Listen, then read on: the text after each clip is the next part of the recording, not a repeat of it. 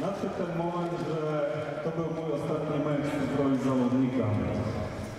I Wam należą się serdeczne podziękowania za to, że przyszliście, za to, że dopingujecie nas w każdej chwili. Dziękuję.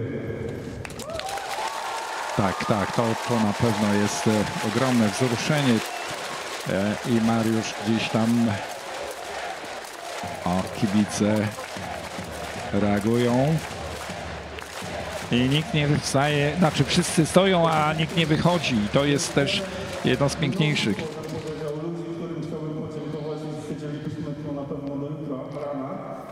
Natomiast, natomiast na takie bardziej szczegółowe podziękowania oczywiście przyjdzie e, stosowna chwila i zrobię to za pomocą moich social mediów.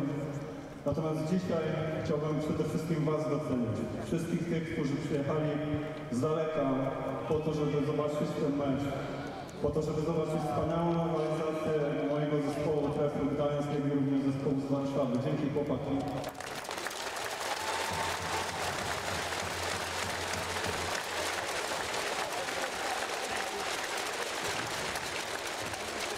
Jest to dla mnie bardzo ważna chwila i cieszę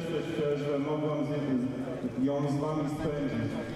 I mam nadzieję, że już niedługo będziemy się spotykać w innej roli, a te emocje, które tworzycie na trybunie, tą energię, która nas niesie w każdej chwili, za to Wam ogromnie dziękuję.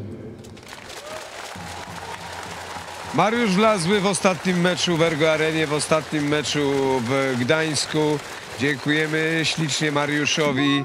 Czekamy na mm, Arkadiusza, 14-letniego potomka, który już, e, tak jak mówiliśmy, niebawem grać będzie swoje finały, o swoje pierwsze medale w mistrzostwach, w finałowym turnieju Mistrzostw Polski Młodzików w barwach e, Trefla e, Gdańsk. No a jeszcze mieszkańcy Warszawy, okolic, a może i z dalszych, tak jak tu Mariusz mówił, że wiele osób przyjechało specjalnie do Gdańska. Jeszcze będzie jedna okazja za cztery dni w Warszawie.